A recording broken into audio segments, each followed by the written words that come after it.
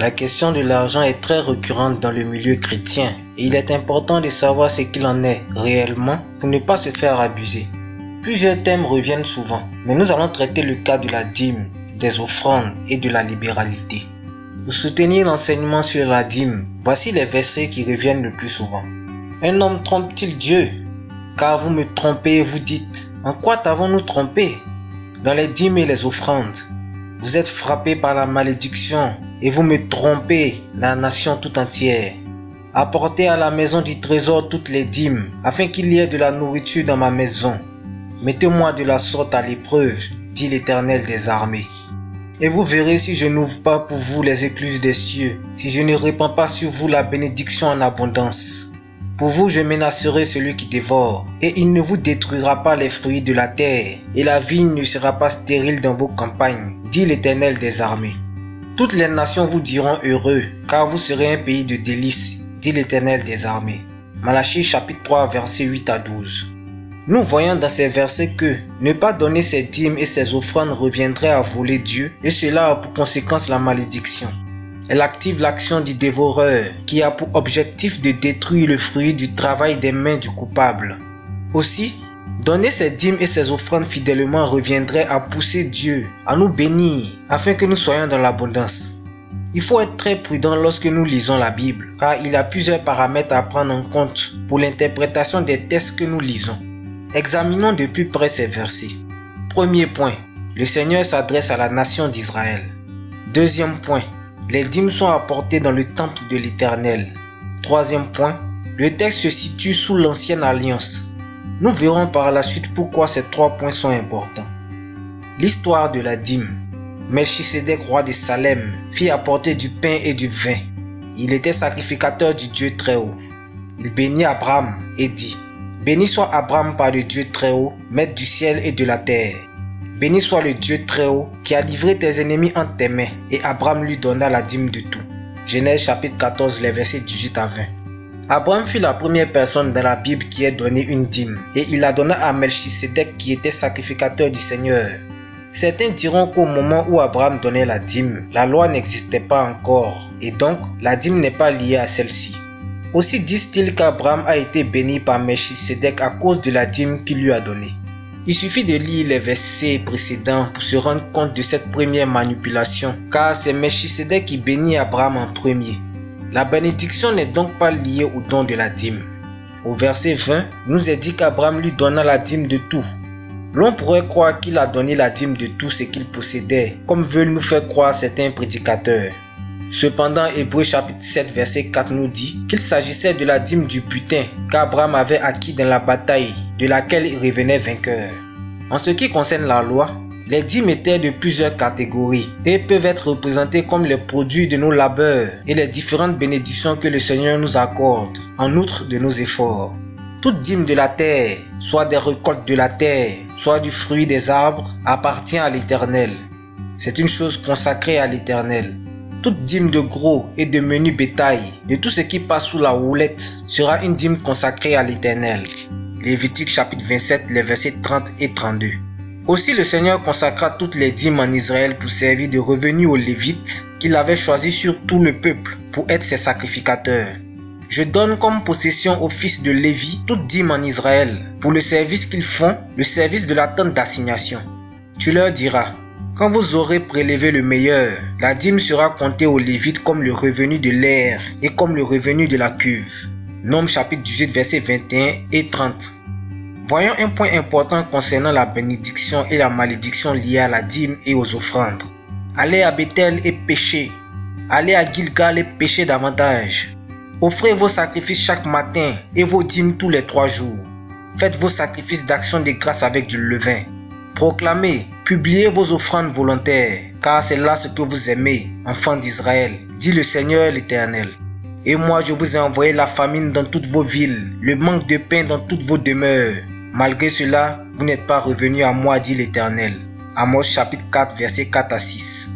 Nous pouvons continuer la lecture pour voir toutes les malédictions que le Seigneur a fait retomber sur son peuple, malgré que ceux-ci donnaient leurs dîmes et leurs offrandes.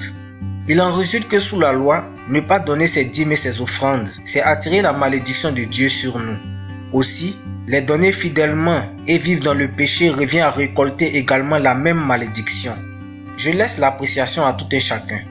Cependant, rappelons-nous ceci, car quiconque observe toute la loi mais pêche contre un seul commandement devient coupable de tous. Jacques chapitre 2 verset 10. Souvenons-nous des trois points énumérés ci-dessus. Donner ou encore payer sa dîme est donc une des ordonnances liées à la loi de Moïse, car elle s'adresse au peuple israélite et a pour but de fournir le salaire des Lévites qui font le service dans le temple de l'Éternel. Certains vont plus loin pour citer ce verset en disant que même Jésus a enseigné sur la dîme.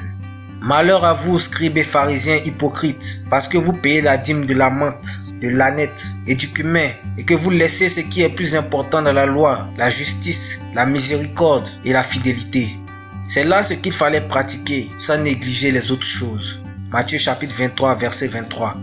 Cela est vrai. Cependant, voyons ensemble le contexte de ce verset. Premier point. Jésus n'était pas encore mort et ressuscité, et donc le temps de la grâce n'était pas encore. Deuxième point, Jésus s'adressait aux scribes et aux pharisiens qui étaient les défenseurs de la loi de Moïse. Troisième point, il leur rappelait que payer toutes ces dîmes tout en vivant dans le péché revenait à être coupable devant Dieu. Que nous dit réellement la Bible sur ce sujet concernant les chrétiens? Quelques hommes venus de la Judée enseignaient les frères en disant Si vous n'êtes circoncis selon le rite de Moïse, vous ne pouvez être sauvés. Nous avons donc envoyé Jude et Silas qui vous annonceront de leur bouche les mêmes choses car il a paru bon au Saint-Esprit et à nous de ne vous imposer d'autres charges que ce qui est nécessaire, savoir de vous abstenir des viandes sacrifiées aux idoles, du sang, des animaux étouffés et de l'impudicité, choses contre lesquelles vous vous trouverez bien de vous tenir en garde. Adieu. Acte chapitre 15 verset 1, les versets 27 à 29.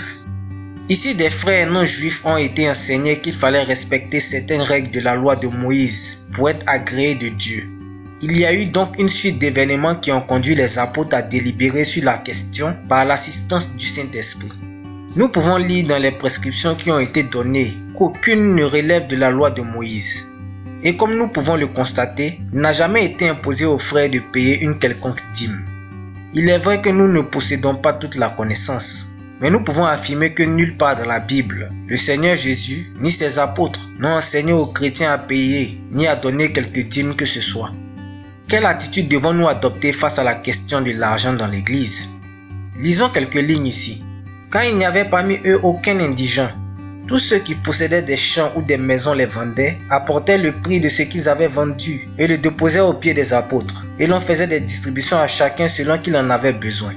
Joseph, surnommé par les apôtres Barnabas, ce qui signifie fils d'exhortation, lévite originaire de Chypre, vendit un champ qu'il possédait, apporta l'argent et le déposa au pied des apôtres. Acte chapitre 4, les versets 34 à 37. Nous pouvons voir ici que les frères de cette époque étaient animés d'un tout autre esprit que celui que nous voyons aujourd'hui. Ceux qui avaient des biens les vendaient afin de pouvoir aux besoins des frères moins nantis. Et donc dans cette communauté régnait un esprit de partage et non d'individualisme. Combien aujourd'hui sont prêts à se défaire de quelques biens pour venir en aide à leurs frères dans le besoin? Il est vrai que nous ne pouvons pas nous défaire de choses essentielles à notre subsistance pour aider autrui. Mais voici ce que nous recommande le Seigneur. Recommande-leur de faire du bien, d'être riche en bonnes œuvres, d'avoir de la libéralité, de la générosité. 1 Timothée chapitre 6 verset 18. Ou encore, et n'oubliez pas la bienfaisance et la libéralité, car c'est à de tels sacrifices que Dieu prend plaisir. Hébreu chapitre 13 verset 16. Ce que le Seigneur attend de nous, c'est que nous prenions soin de nos frères comme nous voudrions qu'ils le fassent pour nous. Que veux-tu que l'on fasse pour toi si tu te retrouves dans le besoin? En ce qui concerne nos conducteurs, que celui à qui l'on enseigne la parole fasse part de tous ses biens à celui qui l'enseigne. Galates chapitre 6 verset 6.